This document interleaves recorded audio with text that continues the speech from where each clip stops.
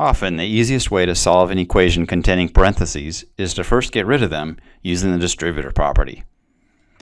In this example, we have 5 times the quantity x minus 7 equals 12. I'll start by distributing the 5.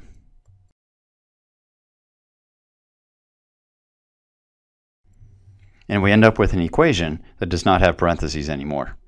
So now I can use my inverse operations. I'll start with the addition property of equality to add 35 to both sides.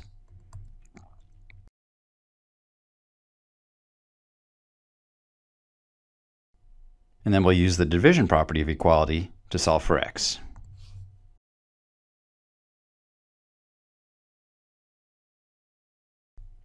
So x equals 47 over 5. Sometimes we need to combine like terms after using the distributive property, like in this example. We have negative 2 times the quantity 3x minus 5 minus 3 equals 49. One first step we could take is to use the distributive property, distribute the negative 2.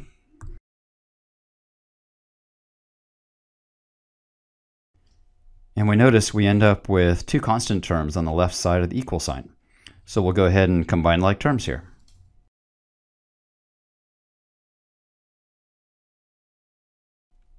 Now we have a two-step equation. We can use our inverse operations to solve for x. We'll start with the subtraction property of equality and subtract 7 on both sides. And then we'll finish by using the division property of equality. Divide by negative 6 on both sides.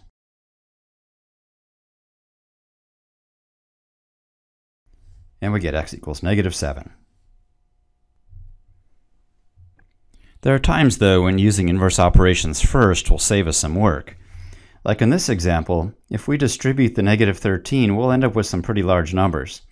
So instead, let's try dividing both sides by negative 13 using the division property of equality.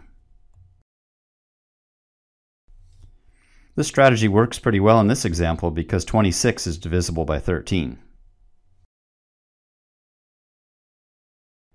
Negative 13 divided by negative 13 equals 1, so those cancel each other out. And we're left with 5x plus 18 equals negative 2.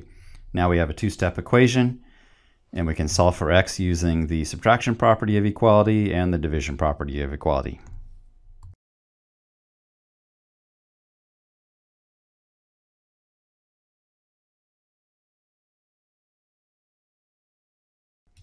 And we get x equals negative 4. And finally, don't panic or do anything illogical when there is no coefficient in front of the parentheses. We understand there is a 1 there. So here we have the equation 5 minus the quantity x plus 18 equals 10. One way to handle this situation is just to put a 1 in front of the parentheses. Now I'm going to rewrite the equation. Instead of 5 minus, I'm going to say 5 plus negative 1 times the quantity x plus 18 equals 10. So what I did there is I added the opposite.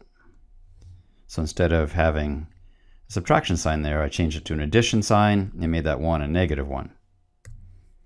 So now we can distribute a negative 1.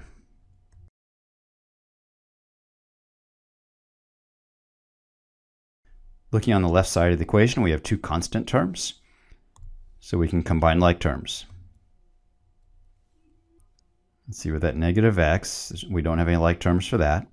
5 minus 18 is negative 13. Now we can use our inverse operations, add 13 to both sides.